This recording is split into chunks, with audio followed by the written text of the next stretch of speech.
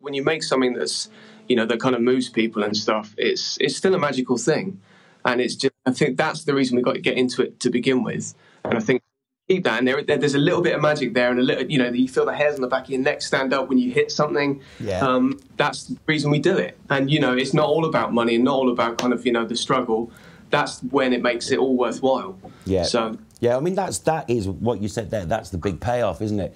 It's when you've done something and you go, "Oh fuck me." Yeah It's that Yeah. sheer excitement, and it's also, which then you know, because what we do is an art form. You know, Yeah. where we are creating, and this this is something Yolanda Charles, the, the bass player, was talking to me about, is that her joy she gets when she's performing even other people's songs, yeah them in losing, losing themselves in the moment, and it's just like the, the, what we're creating is an art form that brings pleasure to people. Exactly, and and that's the thing you shouldn't. That's the thing that you should never forget. I think hmm. is you know people. You get messages from people saying that you know your album helped me through a really difficult time, just recovering from cancer, or what you know. We we came down the aisle to one of your songs, and it's Yeah. just that. It's just you, you can't buy that, can you? I mean that's magic. That Yeah.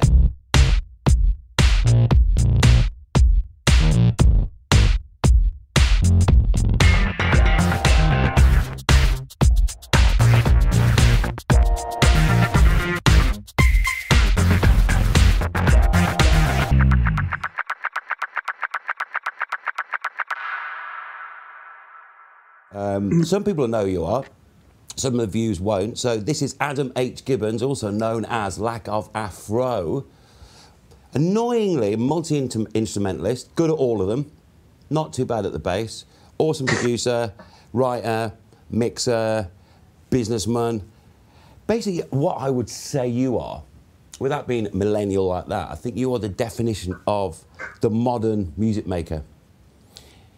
In the fact that you, yeah, that you take Yeah. control of the entire beast of the music itself. And obviously, you know, you collaborate, and we're going to get talk about some of the people you've worked with. yeah, But basically, it's your baby from start to finish. You know, you've been signed to labels, you've got your own label, you've got your own thing that you do. But within that itself, that comes with it all the sort of struggles and everything is a battle. Yes. Yeah. Yeah, it is. Yeah, of course. Yeah, so- it, it, it's. I think it's one of those. For me, it was like a natural progression. I think, obviously, like you said, I was signed to labels, and you know, you you generally kind of get a good insight as to how the music business works mm. when you're signed to various labels. And I think it's only after you've done it for a certain amount of time, and obviously got a feel for dealing with different people. And, and I I've dealt with quite a few labels because I've you know I've done quite a few remixes. I was signed to one label, Freestyle, for a long time for my solo stuff, for my artist stuff, and then dealt with a lot of uh, labels from for remixes and stuff. And you just get in a in a kind of you know working to, to see how it all goes, how it all works. But then I think after a while, especially I think it's a different time now. When when I first started, you needed a label and you needed that um, kind of validation from an external label, and also like you know to manufacture stuff. I wouldn't have had a clue on to how good I had to manufacture. How do you manufacture vinyl? Like back in the day when I first started, I you know I was just excited to put out a record. Yeah, yeah, exactly. You know, now, especially with you know with the advent of streaming and Spotify and how easy it is to get your music onto Spotify um, and to kind of you know the you know how sort of yeah how easy it is for people to hear you. Um, you don't necessarily need, and I say necessarily need because there are some place instances where labels would be very kind of advantageous to have behind you, obviously still, but yeah, I mean it's leveled the playing field a little bit. It's kind of given artists a um, yeah, given a, gi- given them a little bit of control back, and you know, made it a little bit easier to get your music out there. Whereas before, it was you needed a label, and that Yeah. was it, sort of yeah. thing. Yeah, totally. But I mean, with that, then obviously, that ease of like you know being able to let people know, but of course, then you've got a whole barrage of other people now, some less talented than others, who are just bombarding. A, a finite, I mean, okay, we've got the entire world, but the entire world doesn't listen to music, you know. But we'd say like half the world consumes music. But now, instead of having a certain amount of releases worldwide every day, now you've got a thousand times more. Yeah, yeah, um, it's yeah. By democratizing the process, it's just it's made it. You know, there's yeah, like you said, flooded the market with with stuff, and that that's the other battle. Yeah. it's made it put stuff out there, but you're swimming with so much other stuff, and trying then to get your music heard. Whereas before, you would just send, you know, you would send vinyl promos and even digi promos, like the first Yeah. advent of digital stuff. Now it's all about kind of you know what content you have and what how can you make your stuff stand out and and you know trying to utilize your, your, your time a bit more. I think basically now the music, even though obviously the music is always the most important thing, without mm. it you've got nothing. Yeah, the yeah. music almost not not enough mm. to you know you need the whole thing. Whereas before the music would be enough. Now these days it probably isn't enough, and you have to have everything that goes with that. Um, if you're going to give it the best possible chance of success. Yeah, yeah, no, absolutely. So, with all that in mind, let's take you back to the beginning. Why on earth why on earth did you think, I know what I'm going to do? I'm going to make my entire life built around music and try and make a living out of it. Because, cause I'm, cause I'm, you know, a lot of people watching this stuff, they are music fans, and there's quite a lot of people who are producers, engineers, artists, management, or what have you. So they get why our side of it, but like music fans just don't get why, because it would seem like the most ludicrous thing to try and do. Um, yeah, I think that's a very good question. I think it's almost impossible one to answer really. But I think mm. why we got into it. I mean, why did we get into it originally? Is because mm. we love it. Yeah. And I think you know you get into music. You have to get into music because you love it to start with. Otherwise, if you get into it to try and make money, you got no chance. I yeah. think it has to come from within. The fire has to be there to make music because you love it. Um, and then I think, I mean, pretty much everyone gets into it by not by accident. That's the wrong word, but I think there's a point in everyone's you know sort of career where it almost sneaks up on you really yeah. and if i guess if you have a few when you start making music you kind of chuck yourself into it because you love it and you spend a lot of time you do your 10,000 hours and then before you know it if you know if, if the wind is blowing in your direction and you get a bit of luck and whatever it's you know it becomes almost a viable option almost a viable option it's never like it's never yeah, never yeah, no, totally never like, yes, that's a certainty. I'm going to do that and make make good money. And then you, it's enough. It, it, gives you enough little snippets, enough little kind of tidbits for mm. you to follow it up and think, actually, maybe this is maybe I could do it. Yeah. Um, I think yeah, you have to you have to almost be into it for the right reasons to start with. I think I think that's where a lot of people fall down. Yeah. To, they don't realise quite how much of a slog um, it can be. They they kind of see you know I'm not saying they see X Factor and see all these, mm. but they, you know, the music can be glamour, you know, glamorized quite a lot as instant success, but actually to get proper success and, you know, A, what is success anyway, yeah. and B, just to make a living is, is, is, is amazing really from it and sort of count the blessings for that. But it's, it is hard and it's, especially in the early days and it's a momentum thing. The more you yeah. put in, the more you get out. Um, but then, it, yeah, it's almost a case of if you were to see what you had to go through in order to get to this stage, would you do it? By almost certainly, you'd say no. But you, now, you haven't got a choice. You've done it, so exactly. you might as, well, might as, well, roll with it, right? You've made this giant rod of passion and enthusiasm for your own back, haven't you? Without even realising it, and then you're like. Yeah. Yeah. I mean, I think that whole thing, you know, as you said, X Factor, that glamorization of it and um, superstars. I mean, that goes back to Elvis and on, you know, and because it's that thing people would see that and not realise the sheer gamble and, as you said, 10,000 hours that Elvis put in before anyone had heard anything about him.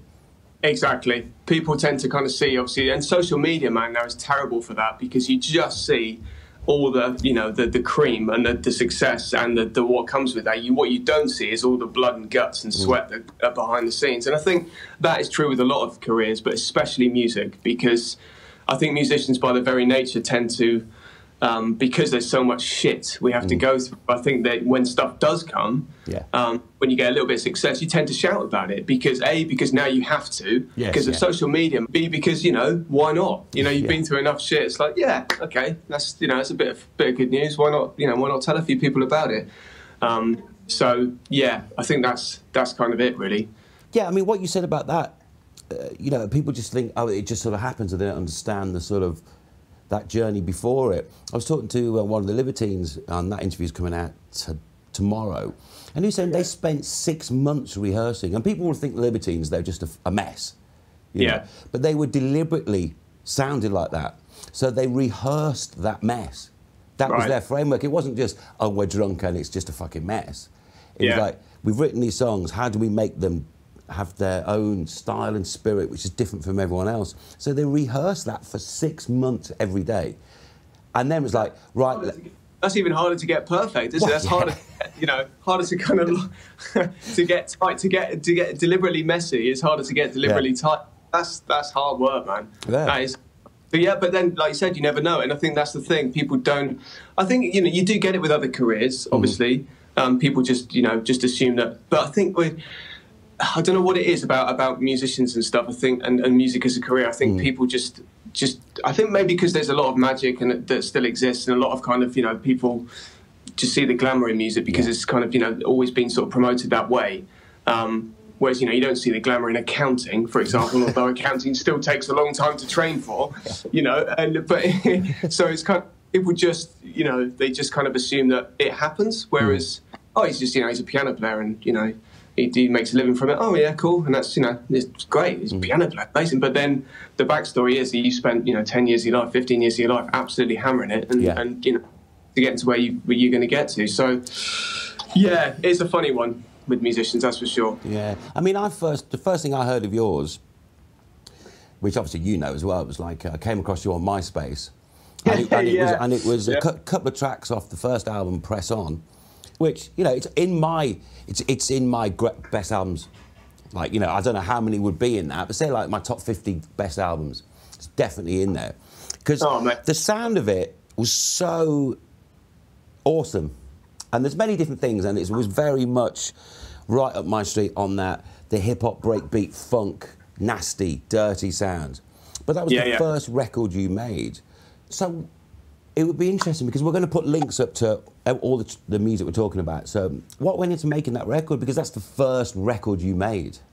And yeah, you made it it, was. on your own. And I think, yeah, yeah. Funny enough, I was speaking to my wife about this a few days ago because I, I'd actually listened to Press On last month for the first time in years. I Mm. listened to it start to finish because it, it, you know, I'm very lucky, man, in the fact that you know I made that record when I was 26, Mm-hmm.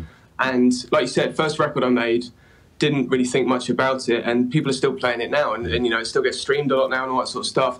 And it's kind of it's kind of mental. So I thought I'd you know listen through to it and see what see what you think of it now with these ears. And Mm. it definitely got a vibe about it. But I think that's that's the thing. I didn't know any better. That's the and as a producer, I think sometimes knowledge can be a, a dangerous thing. The more kind of options you have, the more the more your knowledge base grows about how to do stuff. The more options you have, the more choices you have.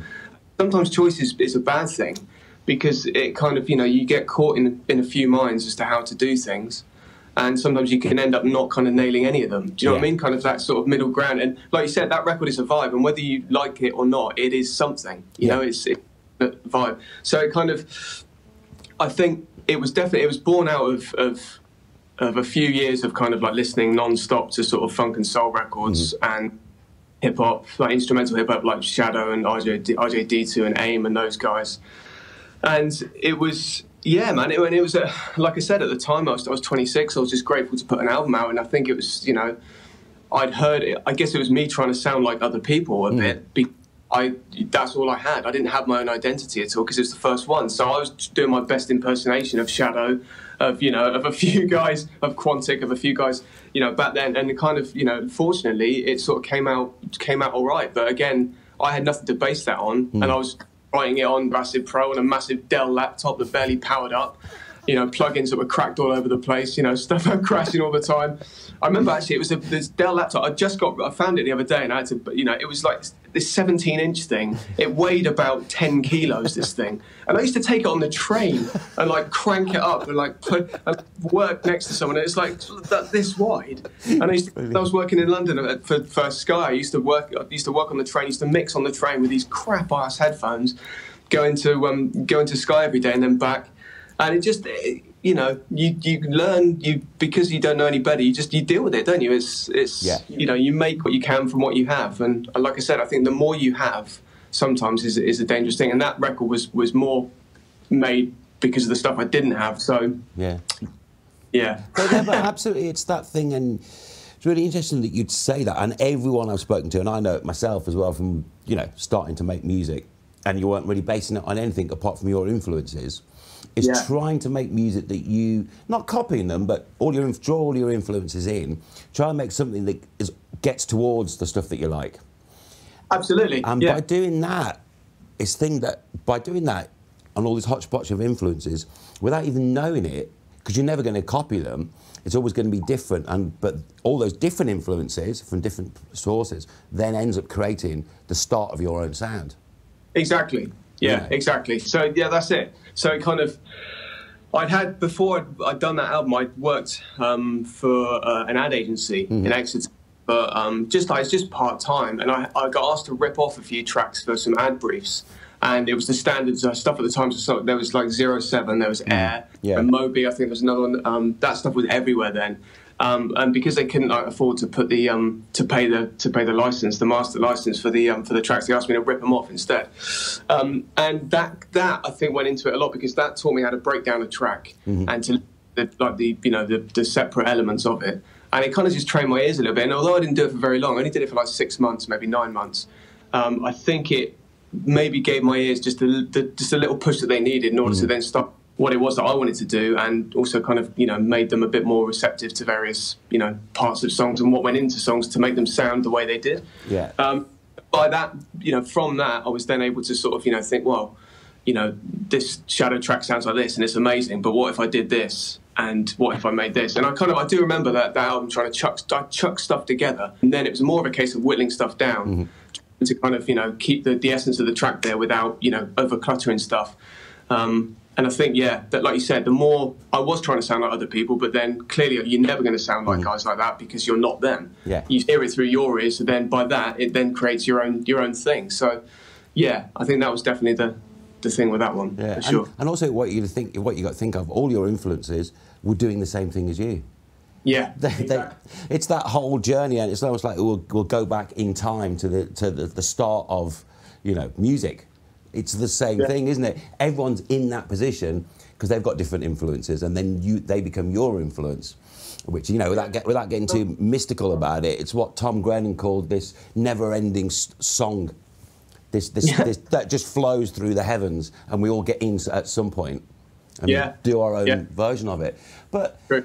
you know, you mentioned um, working at Sky, so would, that was like a, a sound engineering gig you were doing, wasn't it? I was ba- I was basically training there to be a, a dubbing mixer. So basically, so yeah, a, a dubbing mixer kind of mixes all the audio for um, like documentaries and does a lot of kind of um, records a lot of voiceover stuff and kind of basically just flies in a load of effects for promos and all that sort of stuff. All the all the promos you hear on Sky Sports, all like the wishes and the you know coming up next week and all that sort of stuff. All the kind of that sort of stuff. They it mixes sound for that. So I was training to be one of those, but. Um, Sky at the time was um, it was a lovely place to work, but it was very cushy and comfortable. And a lot of those guys there were sort of like late forties, early fifties. They were kind of there. They were happy. They were kind of there for the pension, and they had families and all that sort of stuff, and mortgages and everything. And at the time, I didn't. Um, and the music just started kind of you know started to you know do something and started to take some momentum. I was doing loads of remixes at the time, which were kind of the bread and butter because it takes you know 16 years to see any money from anything. So um, yeah, so the remixes were the were the thing that I was doing, and that kind of propelled me to to kind of you know try it and give it a go because at Sky the thing with Sky was that it was kind of dead man's shoes. You didn't get Yeah. promoted into so I thought I could be here for another five years doing this, and you know it was just a case of jump now or get comfortable, and I jumped. So yeah, yeah. brilliant. Yeah, I've been uncomfortable ever since. Yeah. I, remember, I remember you emailing me about that actually, and saying, "Do you think I should do it?" And I was like, "Do it." really, is that right? Jeez, there you go. So I apologise, but I don't really. oh, I knew it was someone. Uh, all these years later, it comes out. yeah, exactly. But um, so what is the deal with you being able to play so many instruments? Because I've spoken to a load of producers who can like play a bit of piano or maybe a bit of guitar, but you're a badass drummer, really good guitarist, okay bass player. but you can play the saxophone as well. So where does all that come from? Um, it's kind of it just just trial. I guess trial and error to start Mm-hmm. with. I mean, I kind of I started learning piano as my first instrument. My gran um, started teaching me piano when I was seven. She was you know sort of a um, like a concert pianist in the war and all that sort of stuff. She was a badass piano player. Um, my family's always been musical. My my dad played a bit of drums, bit of guitar. My uncle plays drums.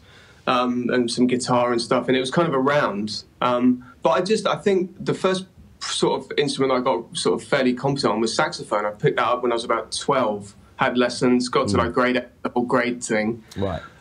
And I don't know, it was after I left school.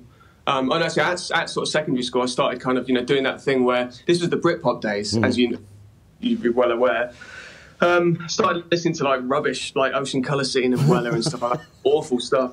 Um, and you know what it's like? You kind of start, there's, there's music you listen to a lot. If you're kind of musically minded, which by then I was, I guess, because of the whole saxophone and piano thing, you start sort of just picking stuff up. And there's guitars everywhere at school. Everyone's got guitars around and all that sort of stuff. So it just, just kind of started picking stuff up. Um, and I guess my ear wasn't too bad by then because of the whole saxophone stuff and mm. piano stuff. But picked chords up. A friend of mine, everyone has a mate at school that shows them a few chords and away you go, sort of thing. And so yeah, just started playing along. And I think then at university I started getting into the bass more because then the whole funk and soul thing kicked in right. when I was at uni. And then obviously you know the bass is everything with that mm. with that music. Not the Britpop stuff. That's just you know root notes and it. Could be anything. Yeah, it doesn't matter. Um, so yeah, when you get to when you get to uni, when I got to uni, that was when the bass kind of started coming in. Mm-hmm. And that, the drums I picked up a few years back. My uncle showed me a few things. My dad showed me a few things, and I guess it's just a case of what I was. I was inquisitive. I was always mm-hmm. inquisitive about you know different instruments and how they worked and how it kind of all came together with various you know the, the players that played them. And I always kind of had a had a sort of vision of. I mean, I remember when I was at uni, I started to listen to tracks uh, as like a whole instead mm-hmm. of just the individual elements. Um, whereas before, I kind of like, oh, the drums on that are amazing. Good, you know. I then when I was at uni and started kind of writing my own stuff, I just kind of started listening to whole to tracks, you know, as a, you know, sort of um, made up of their constituent parts, mm. I guess. And I think that even spurred me on even more to start, you know, more stuff, more you know, pick up more instruments, and just just have a go. Really, it was yeah. just.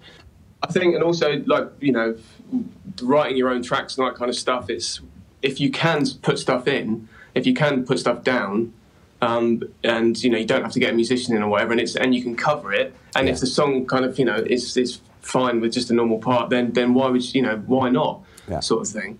I think the the sort of advent of the albums where all the guys were doing it themselves. I remember listening to the um, to Play by Moby, and also obviously the Shadow stuff, and sampling obviously woke, you know woke me up to the fact that you could do all this stuff, and it mm. sounded like a band, and but you didn't you didn't need anyone else. So it kind of I knew enough on instruments to cover the stuff that I needed to cover. Yeah. So uh, I never kind of lost that sort of interest in instruments and interest you know in playing. Um, but yeah, so it's just I mean I guess necessity is mm-hmm. the mother of invention, I suppose. So I guess yeah, I just it was necessary for me to be able to cover those that stuff. And I didn't really know anyone in London when I was writing the, the Press On. So it's like you know I have to get this stuff. I have to be able to play this stuff in. Otherwise, yeah. it doesn't get played in. I have to find a sample or something. So probably much easier if I just play it in, you know? Yeah, yeah, well, yeah, exactly. And then sort of moving through the albums, because obviously um, you've done seven as Lack of Afro now, haven't you? Yeah, seven. Which, which is, yeah, I know, it's amazing, isn't it, really? But as, as, they, as they progress, you've gradually brought in more vocalists. Yeah, see, that's that's the thing. I, and weirdly, when I first when I did Press On and, and, and My Groove Your Move the first two. Even though my groove did have vocals on it for the first time, I never sort of envisaged doing vocals. Mm. Weirdly, because I think I was so obsessed with the whole instrumental hip hop thing and the cut and paste funk stuff, you know, um, of, of, Press On and stuff. That I, I just didn't see myself as that guy. Mm-hmm. But then. I've always had a bit of a soft spot for pop music as well, and obviously, you know, and the song as a, yes. as an art form. So then you once you start wanting to incorporate vocals, then you're kind of you know talking about verses and middle eights and, and you know pre-choruses and all that sort of stuff. And then obviously there's no end to it then once you're in that.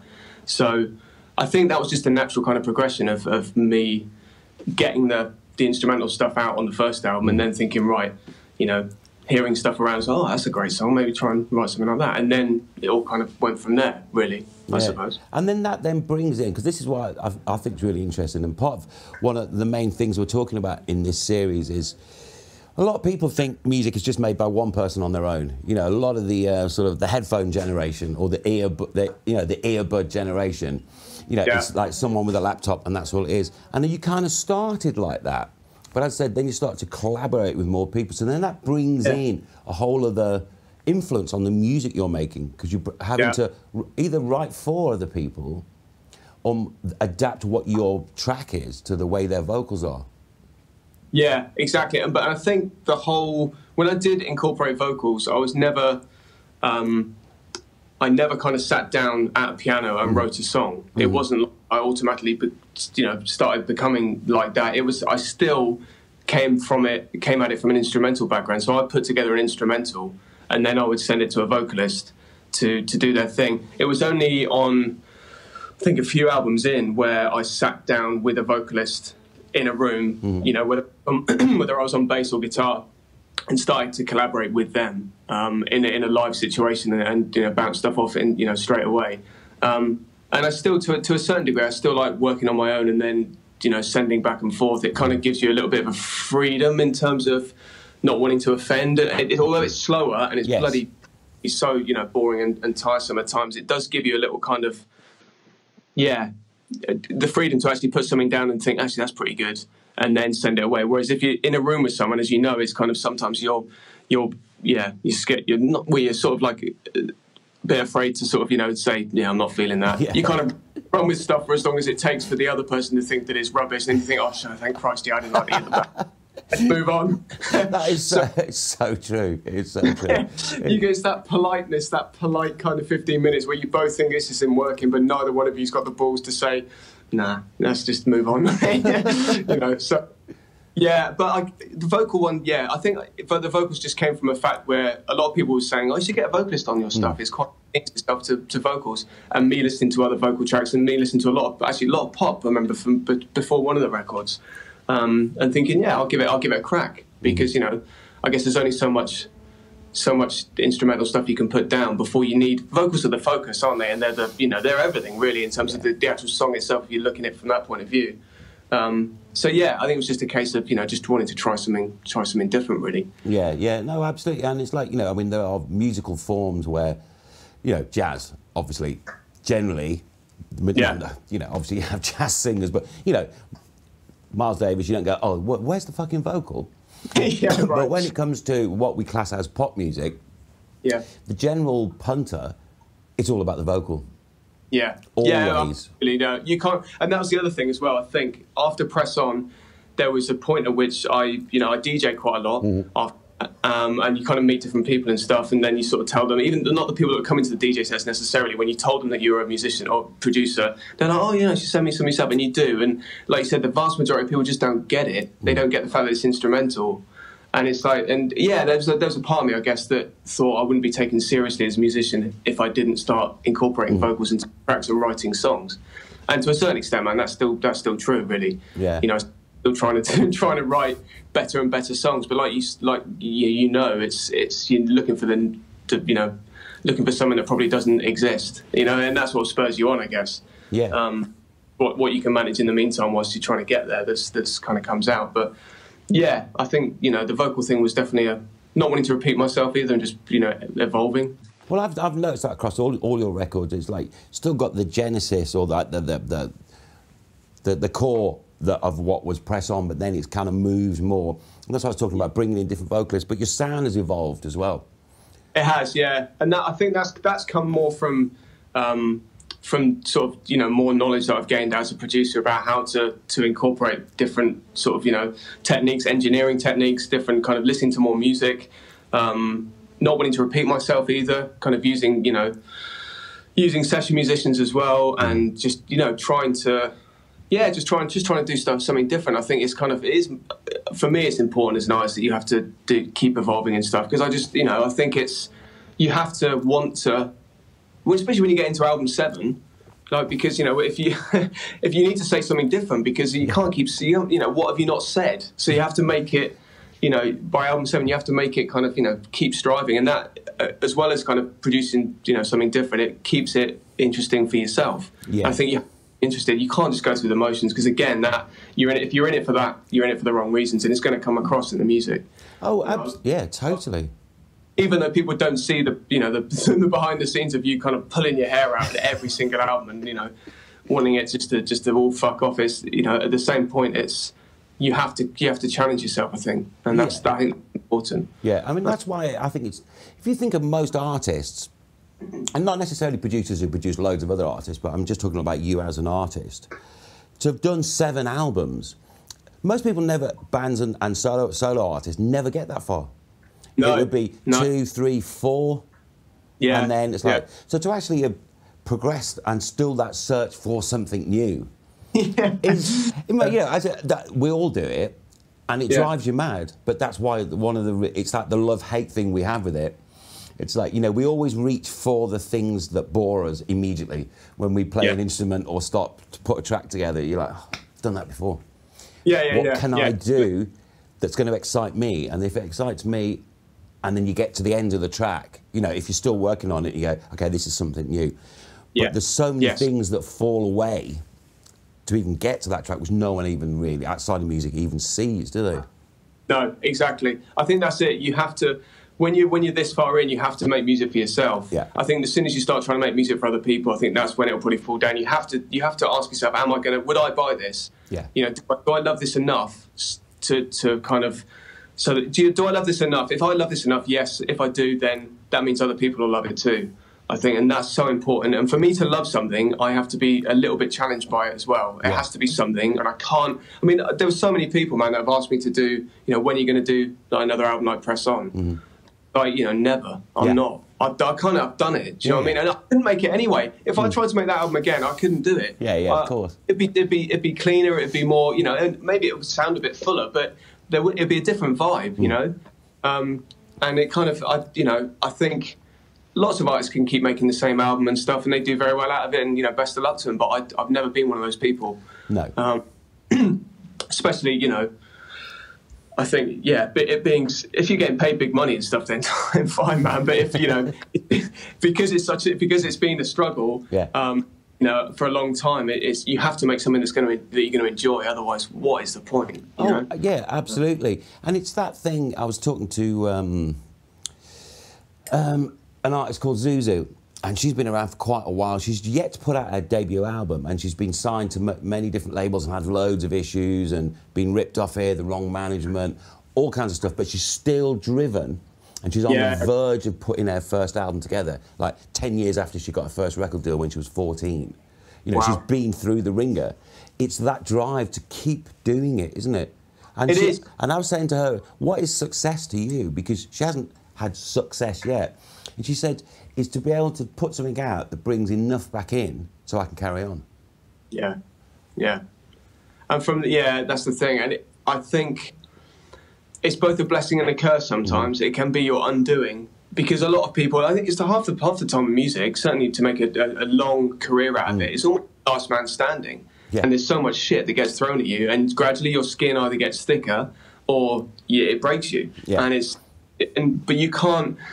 I think again, had you known the amount of stuff you had to go through to get to this point, you'd never do it. No one would. But I think it, that that when you say yeah, that kind of like that drive, that inner that fire burning in your belly. I think as long as you have that, I think it's you know you just just you just keep going. Yeah. And as long as you're getting enough back, obviously you know if if you get nothing back and you've got you know you've been doing it 15 years and you've you, you know you still haven't got a pot to piss in sort of thing and it's and it's bad. You're putting yourself in financial you know shit. I think obviously that's different, but like you said, like like Zuzu said, as long as there's enough coming back for you to want to keep doing it and to enable you to do it, um, I think it's you know it's it's a blessing because music is a blessing and it's it, can be it can be magical. Yeah. And I think I think that's what people forget now. Also with the, the advent of social media, this is probably like a sideways rant, but I think that sometimes that magic can be taken away and it can be just seen as like a you know just celebrating success and the business side of it all the time. But actually, when you make when you make something that's you know that kind of moves people and stuff, it's it's still a magical thing. And it's just I think that's the reason we got to get into it to begin with. Yeah. And I think keep that, and there, there, there's a little bit of magic there, and a little, you know, you feel the hairs on the back of your neck stand up when you hit something. Yeah. Um, that's the reason we do it, and you know, it's not all about money, and not all about kind of you know the struggle. That's when it makes it all worthwhile. Yeah. So Yeah, I mean that's that is what you said there. That's the big payoff, isn't it? It's when you've done something and you go, "Oh fuck me." Yeah, It's that Yeah. sheer excitement, and it's also, which then you know, because what we do is an art form. You know, Yeah. where we are creating, and this this is something Yolanda Charles, the, the bass player, was talking to me about, is that her joy she gets when she's performing even other people's songs, yeah, them in losing, losing themselves in the moment, and it's just like the, the, we're, what we're creating is an art form that brings pleasure to people. Exactly, and and that's the thing. You shouldn't. That's the thing that you should never forget. I think is you know people. You get messages from people saying that you know your album helped me through a really difficult time, just recovering from cancer, or what. You know, we we came down the aisle to one of your songs, and it's Yeah. just that. It's just you, know, you can't buy that, No. can you? I mean that magic that. Yeah. Um, and certainly when I started playing, you know, I started, when I started producing music, I could never have envisaged stuff like that, and you don't. But then when that stuff happens, you think, shit, that's that's incredible. Yeah. No, you wouldn't get that if you're an accountant, would you? You know, I've got nothing against that's all. Um, but yeah, it's, it's a very special thing, and music has the power to do that. So we, we are in a privileged position where we can make that happen. Yeah. Um, yeah, that's why we do it. Yeah, That's it's why- funny. It's funny you keep mentioning accountants because my accountant. I've got nothing against no, no, accountants. no, it's good. It's, it's my, my, Great, by the way. my- Shout out to my. It's amazing. Um, my my accountant Yeah. comes to a lot of my gigs and he's like because he, utterly loves music and he's like no one ever gives me screams and gives me a standing ovation when i've got my sums right yeah, exactly. They're the most underappreciated, but probably the most hardworking people. And all the musicians have to do is just, you know, rock up on stage, play a power chord, and everyone goes mental. You know, yeah. so yeah, I totally get that. But then, yeah, that is what makes what makes it magical, and that's why you get into it in the first place because you hear someone else do it, or you get that inspiration from someone else, and you think, shit, yeah, I want to do that. So Yeah. then you that fires it, and I've never lost that, and I think that's why I'm still here. yeah absolutely and so do you have your own recording space as in your own sort of like defined studio setup Yeah, so um, I've kind of moved around studios a lot. I've I've always had one. Uh, most of the time, I've had one in my house or kind of you know um, in like outbuildings or whatever. Um, but it's kind of varied. Some some of them have been kind of sort of fairly sort of comprehensive and, and can record drums and stuff. Sometimes I've I've worked at little sort of workstations that you know just a laptop and a few bits. Um, more recently, I've I've had a space in our basement, which I am now. But because um, we've had, and I've kind of made it so that I have a live room and a control room and stuff. Um, but then I, to, to record I'm Here Now, I went to a studio in South Devon called Middle Farm, and I loved, I actually loved the fact that I had an engineer there and I just hopped on different instruments. Yeah. He, at the same time that I was kind of working out parts, he was then comping and editing. And then we had the, you know, creating loops, and then we had, you know, I kept jumping on other instruments and just firing. It was just, it was glorious, man yeah kind of, you know, so I think that is going to be the way I probably go. Yeah. Um, I'll still go home because I have to come back and mix stuff, you know, Oh, yeah.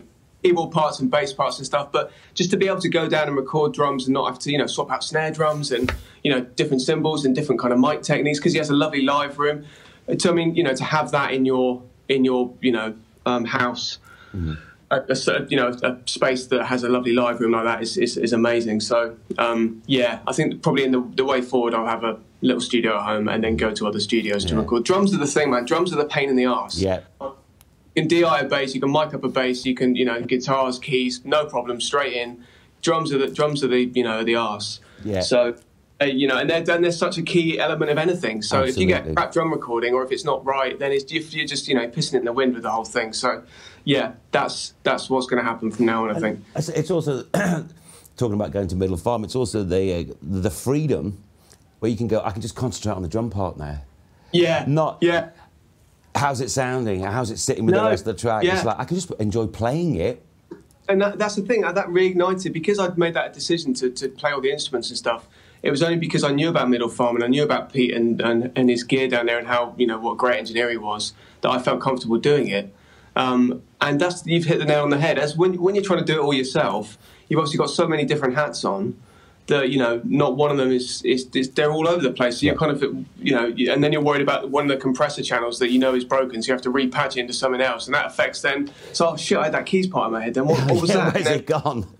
and then it's gone, and then your bass, you know, you haven't propped your bass up in the corner, and that falls over, and then you and it's ah fuck, Fucking hell. like ah damn. So yeah. And Having someone else to you know to do that and actually having the freedom to go down there and not worry about any of the gear, Yeah. it's all work.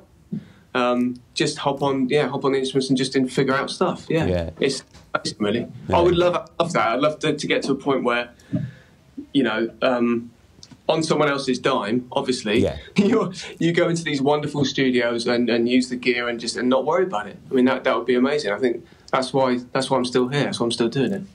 Perfect. but that again, that again on someone else's dime, then that brings a pressure in though because they're because they're they're, they're like it's better be fucking good. We, Yeah. we better be able to get this on the radio and people better stream shitloads of this, you know. Again, that there's pretty yeah, absolutely, man. You hit you nailed it. I mean, you've mm. you've been in that situation, and and the more a label invests in you, the bigger they, they want to see the return. And that you know, bands some bands can handle that pressure and they just keep you know shitting out the hits, and other bands just crumble. And I think mm. that's when it's on someone else's dime, it's lovely because you're thinking, I don't have to front these studio costs. I can just think, think about the music. Then you finish the recording, it comes out, and it like you know it bombs, and you think, shit, Shit. you know. we ain't going to see any royalties for the next 10 Ever. years. But yeah, that's, you know, it swings and roundabouts, but yeah. Yeah. So can we talk about, and obviously, if you want to say no, that no is no. The whole th- th- thing coming up with. I don't know, mate. I don't, I don't know whether. I don't know whether I can I can talk about it or not. I don't. Well, what we Um, can do, let's talk about it, but we'll bleep out the names. Okay, well, that's good. Okay, yeah, like yeah. So you've been approached recently by an absolutely, you know, legendary record label, got legendary studio, a cer- certain band named part of their second album after them. We'll just leave it there.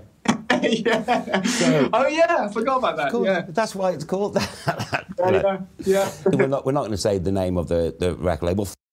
Um, but you know, this is a really famous record label, and it goes to the roots of the music you love anyway. yeah. You know, a lot of the things that you've got these that have inspired you to make music in the first instance, and Right. continue to do so. So, how did that come about? Um, completely out of the blue. Mm-hmm. Um, was one of those emails that you get very similar to the one that you sent me on MySpace all those years ago. Mm-hmm. Um, where you actually think it's just some guy pissing about, essentially, because there's no. Oftentimes, sometimes when the when kind of you know labels that you sort of respect or, or bigger labels come calling, they don't. There's no bluster, or it's just a it's dude, isn't it? It's, you know, this this guy. It was on Facebook, uh, but immediately I thought, well, you know, this is Yeah, it's yeah. not going this, this is nonsense. This guy's pissing about. Um, but yeah, he, he, he emailed and said that he'd been following my stuff for a while and, and that it was, you know, he loved it. And, you know, would I consider going to, um, uh, going to, um, and record an album for, for, and it was, I think it took, it took a good sort of two or three phone calls and like long phone calls, like hour long phone calls with this guy, kind of suss him out and actually sort of, you know, and him suss me out and Yeah. actually, you know, you know what it's like, man. Ninety percent of the stuff you, that comes through, you know, I've, I've, and that's the other thing that makes this such a hard business is, Mm. is that carrot that gets dangled in front of you so many times. You think, oh, this is going to happen. This is it. This Yeah, is the yeah. one, and then gets pulled away, and you're like, and that just little bit chips away at you. So you kind of, there was an element of me that thought, you know, this is, I'll phone him up and it'll be, it'll be nonsense. It'll be like, you know, you have to pay to come to us or Yeah. something. Or something. We're, we're, we're raising money for something. Oh, I don't know. Um, so yeah, so we kind of we spoke many times, and, and yeah, and then it came to it that they they just like what I do, and they were kind of very keen to sort of you know for me to go over there and, and record at, at that place and for them and use you know use some of the local guys there and some of the local vocalists and kind of make it you know make it a thing mm-hmm. make it a, make it an album. And and like you said it those are the sort of things that you know when they come through obviously we're working at, it now and, and see see what happens mm. but um those are the sort of things that make it all worthwhile man and it's it's music can do that that's the other Yeah. thing about the industry is that all of a sudden you you'd be kind of you know you'd be feeling down on your ass uh, down on your luck you've had a shitty few months no, you know, the royalties have kind of dried up, sales mm. have dried up, whatever. Then you get an email out of the blue mm-hmm. saying, "Do you want to do this?" And you're like, you know, "Where's that come from? Like, where's it come from?" And it's just that I think sometimes it's just the universe reminding you that you're on the right path. You know, even though you don't think you are, mm-hmm. and you might be hammering on on social media or for whatever reason, or someone might have just you know left a shit ass comment on your page, or, or you know read something about yourself or a bad review or something, and you Yeah. think, "Shit, what is what am I doing?" And then and you get an email from you know from someone, and it's just it yeah it kind of like straightens you back up, like Yeah. you know dust yourself off, and you think, right, let's go again, let's go. It's amazing because it's like, if you think of the heritage of that. yeah. And, it's like, and then you get the call, which is, as you said, it straightens you up, but it's a huge validation yeah. of those seven records, the mixes you've done, all the things that you've gone through to get to when that email pops into your inbox. Yeah, it's um, it's crazy. Like you said, it's it's more, it's the validation, and it's the kind of, even though you know, validation enough should be should obviously you know being able to make a living at this and this, the the whole thing that you know that brings, and you know, but you do need validation. I think as musicians we do because you know we're constantly being judged for our work. We're con- it's, it is such hard work. It's in a hard industry to even make a dent in. Yeah. Uh, anyway. So you do need the, you do you need the occasional tummy rub. You need the occasional some person to say, you know, you, you, this, you're doing the right thing. This is great. Um, and that when stuff like that happens, it is. It's a validation. Yeah. And it, you know, man, like you said, for me, it's for the sort of music I'm into. It's it's kind of couldn't really get any better. Mark Ronson must have been busy or something, man. I think you know. or me, you know, it's like, oh, who's song that now he's can't do it? It's just, ah. yeah, maybe you were 27th on the list, and everyone else, Yeah. the other 26 But they- has said, fuck off. first person they thought of. I think I, I don't know, man. I think that's a bit of a lie. So, uh, but no, man, look, it's, it's incredible. I, I'm, I can, you know, it's very exciting, and it's given me another lease of, you know, another lease of life because every, everything that you do. Like you said, seven albums in. I, after every album, well, after after the last sort of you know three albums, I've, I'm convinced that's the last one Uh-huh. because every album leaves me knackered and broke and thinking it's so much effort, and also because I put them out myself Mm. as well. So then you write the album, you finish it. Whereas normal artists would just kind of like hand it over to the label, say, right, I'm done, on to the next one, or let's go on a tour and let's Yeah. get, you know. Um, I don't. I, I, I then I'm talking to manufacturers. I'm talking to you know, talking about the card, the type of card to put in the inlay, and it's like you know, it, it, it sucks up. It sucks up mind space. Yeah, I don't yeah. know why I'm doing that, and I, I'm doing it for a reason.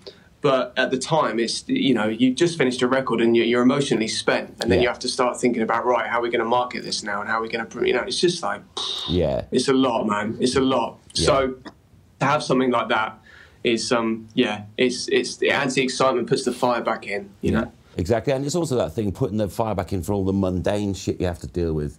So you know, promoting, you know, I'm here now. It's like the relentless having to social social media update this, that, that, and you got, Exact- and then you've had this, as you said, tummy rub validation of like, ah, Yeah. now I know. It's like I know why I was doing it, but I made the record. I'm exhausted. I'm dealing with manufacturers. I've got to do my updates. I've got to do the video. I've got to blah blah blah. And you think, Yeah. oh, just fucking leave me alone. And then you get an email like that, and you go, okay.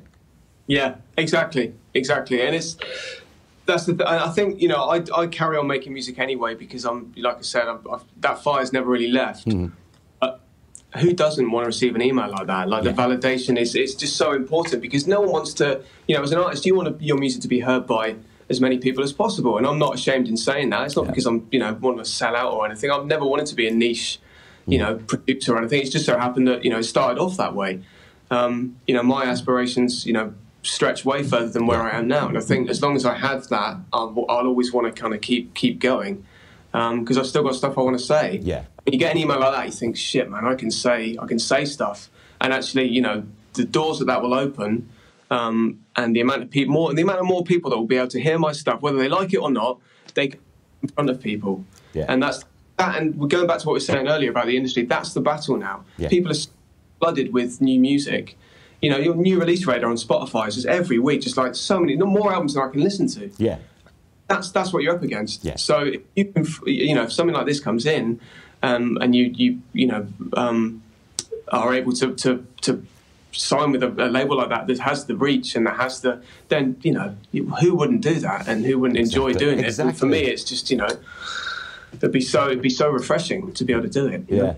and also with that whole um, the thing of like you know that that that coming about, it then generates people going once they hear that, then they then they find out oh you've done this and you've done this and this. And so all those great records, the other great records, seven records you made, then people go oh my god, Yeah, and that you know, that is the side of it that sometimes you struggle with as an artist because obviously you you like to think that your records are good, and they are Mm. good because you know you wouldn't you take confidence from what you've done before. Yeah. So if you do a first album that actually takes some traction and gets you know you think shit okay I'm onto something here. You do the second one. yeah, uh, And yeah, and but where people are concerned, sometimes you know they they, and and you know I'm not blaming people for this at all. It's just how it is. If if a person sees your your music come out on your own label, sometimes they think, oh, he's just self-releasing because you know probably can't find a label. Bless him, can he? He can't find a label that's you know. it's just, and you think, yeah, and then you can't be asked to kind of go into the whole you know why you're doing it and stuff.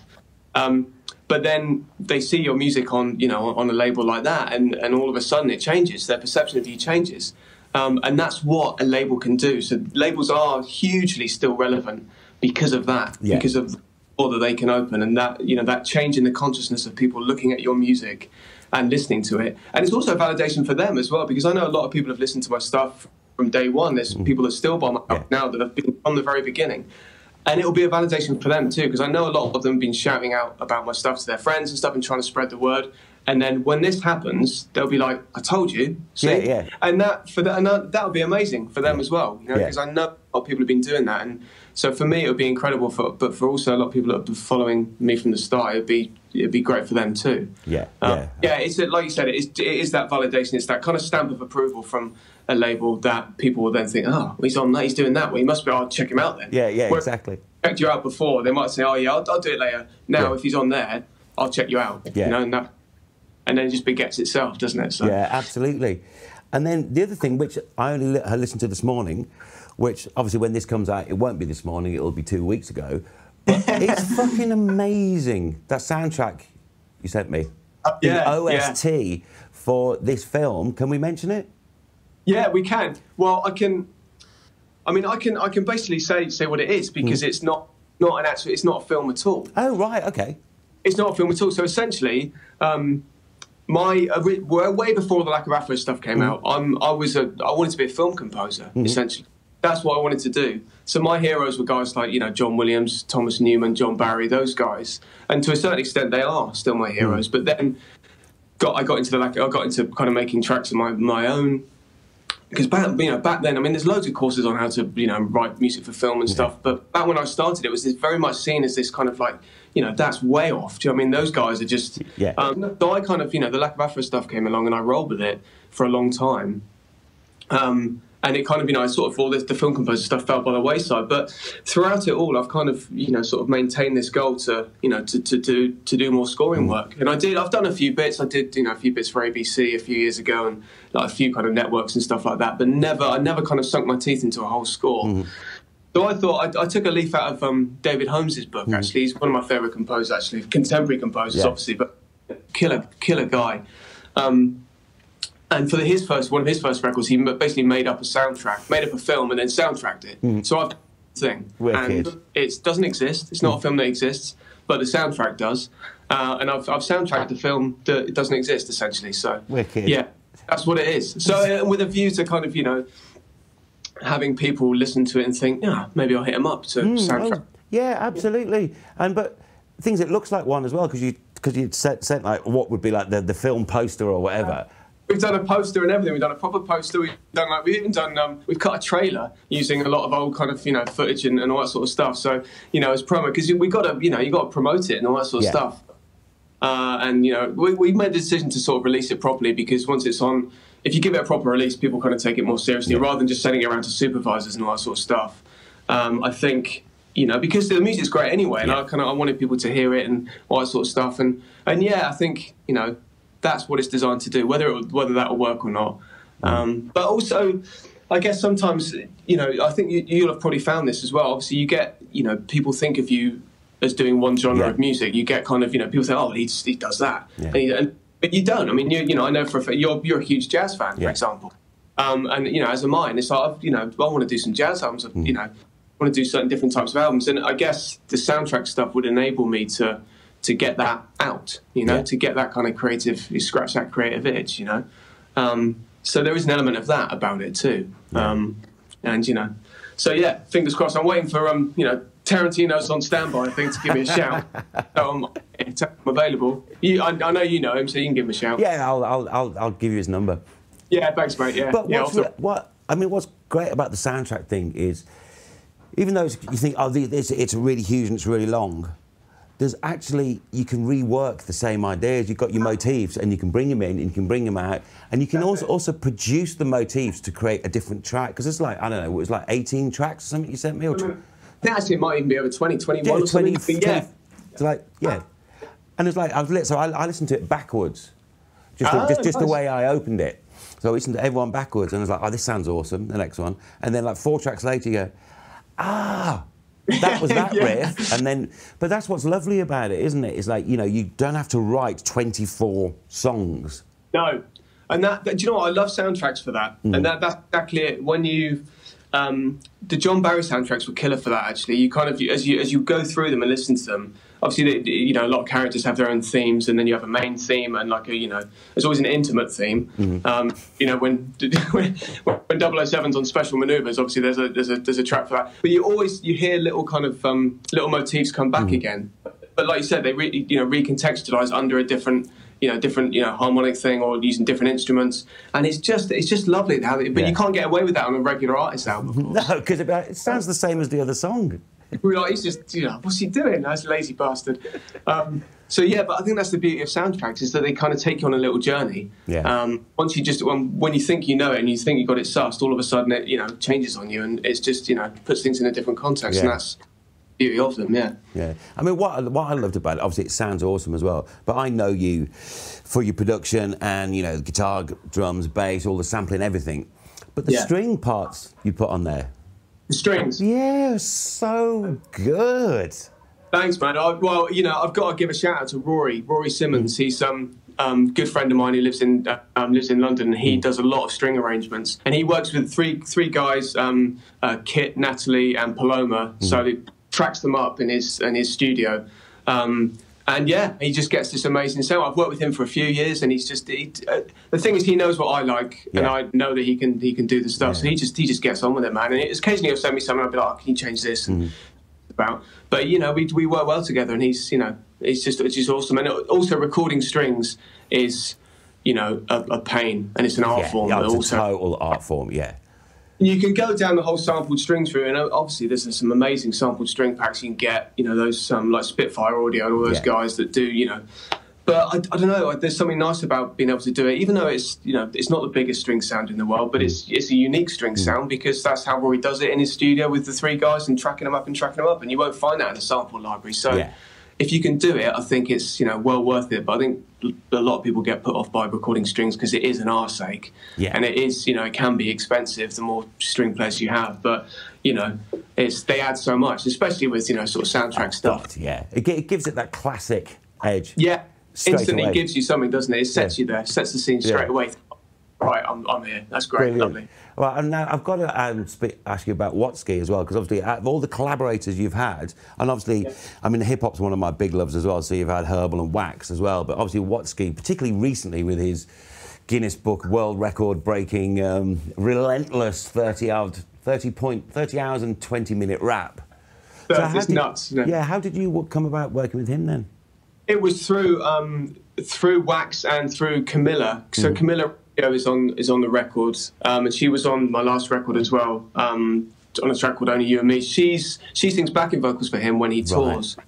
states, and I, I, I heard his stuff, you know, a few good few years ago because he, him, and sort of Wax and Herbal T and those guys were sort of part of the same, you know. So I, I, they probably weren't part of the same crew necessarily, mm. but I always listened to those guys, um, and they're always kind of bigging each other up on social yeah. media and give house and stuff, and was, they were kind of part of the same thing. Um, you had kind of Watsky, had Wax Herbal T, like Dumbfounded as a guy called Dumbfounded, and actually you had a guy called Breezy Lovejoy, mm-hmm. who was Anderson Paak. Funny story about Anderson Paak. I had a chance to work with him a while ago, not when he was Anderson Paak, when he was when he was Breezy Lovejoy. His manager contacted me again because he heard my stuff through Wax and stuff, and he mm-hmm. liked my kind of vibe. So before it kind of you know um, before it all happened, and I for whatever. I think I just finished an album. I was knackered, wasn't really feeling it. I was like, "Oh man, I'll get you some stuff soon," um, and didn't. And then the next thing I hear, he's changed his name to Anderson Paak. He's um, been, you know, signed by Dr. Dre, and he's everywhere. And you know, can I get hold of him now? No, no, no. chance. No. He's got bigger fish to fry now. So you know, I missed out on a chance of working with Anderson Paak, which you know. There you go. Yeah, always, well. always follow stuff through. You never know where it's going yeah, Yeah, no, yeah. Well, always. I mean, I've got say, it's um, similar, probably even more heartbreaking than that is um, a producer mate of mine was asked to do um, a record called Nevermind. but he turned it down. I, I bet nothing happened with that, did it? Didn't, didn't it? he turned it down. Doesn't sound like a good title for a record. no, it was never. It was never going to work. And the reason why he turned it down because he'd spent three months work producing another band's rec- record. He'd been out in LA for three months. He's like, I just want to go home. I'm knackered. Yeah, and do you know what? That's that's fair enough. You can't you can't foresee stuff no. either.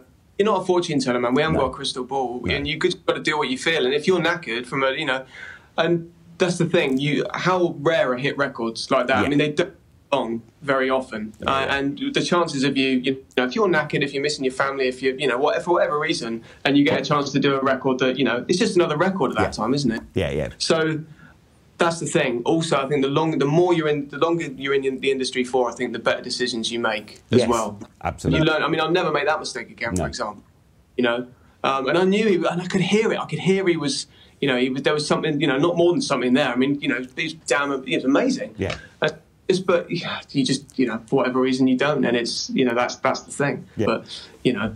Um, I'm still waiting for the call to produce his next record, but you know, I think You never, well, after you never know. You never know, actually. Yeah. Yeah, giving him a call for that, but yeah, who knows? Yeah, yeah. But, yeah. Okay, so my last question, which is people, some people love this. Some people I've been chatting to, they're like, "Oh, come on." I want you to pick, and we're going to put links to all of them as well. Three things that you've done that's not, they're not going to represent you as an artist because that's impossible because it's like every, everything you've done represents you as an artist. But three things that you do for whatever reason would stand out for you. For could be the first thing you made. This is really special because, or whatever. Just like Yeah. three three tracks. Could be three whole records. It's up to you.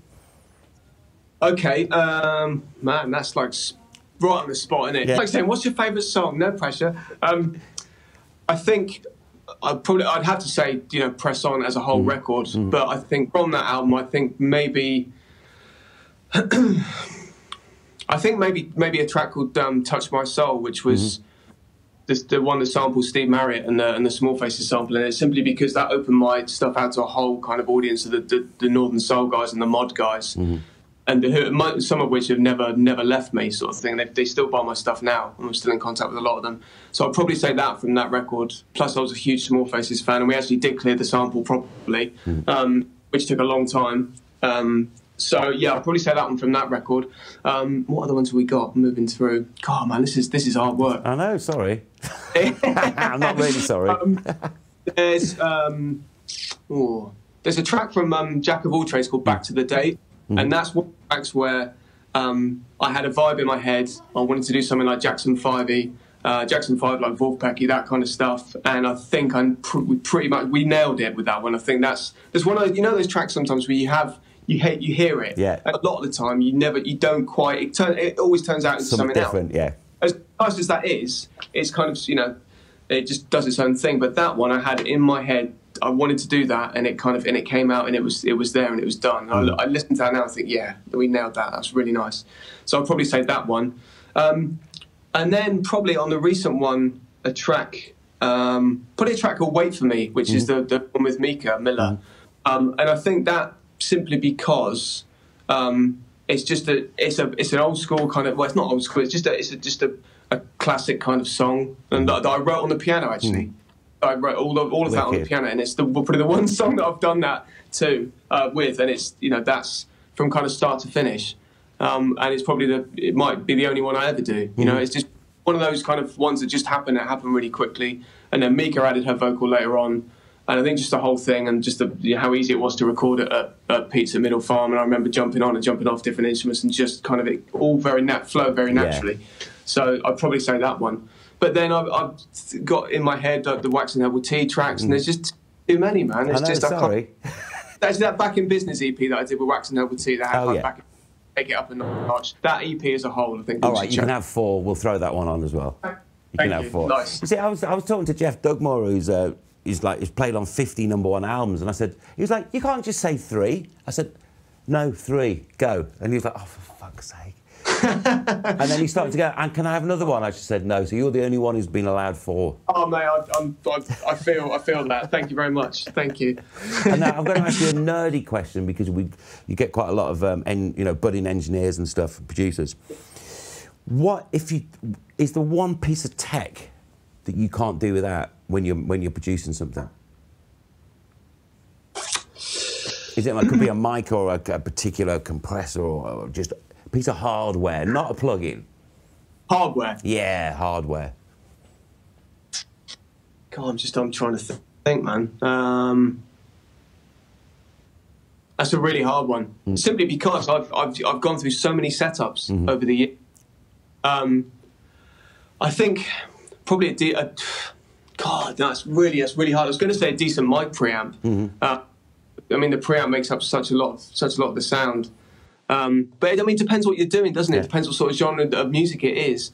Um, I'm trying to think of the one thing that I use more than anything else. Um, hang on a minute. I'll look in my. I'll look in. The, I'll look in the room. One sec. Do you know what, man? Probably, probably monitors. I would say. Right. Okay. I, you know, and as boring as that is, I think It's it's, you know, and it doesn't. Well, I should say that it doesn't matter how good or bad they are. It just matters that you know them well. Mm-hmm. Yeah, you know? totally. And it just, you know, it's, and if you know something's going to sound good on them, then that's kind of half the battle. I know, I know guys who monitor with, you know, ten grand speakers, and I know guys who monitor with, you know, two hundred quid hi-fi speakers that they've Yeah. had for about twenty years. It doesn't really matter as long as you know them inside out and how much, you know, low end and treble to add or cut or whatever.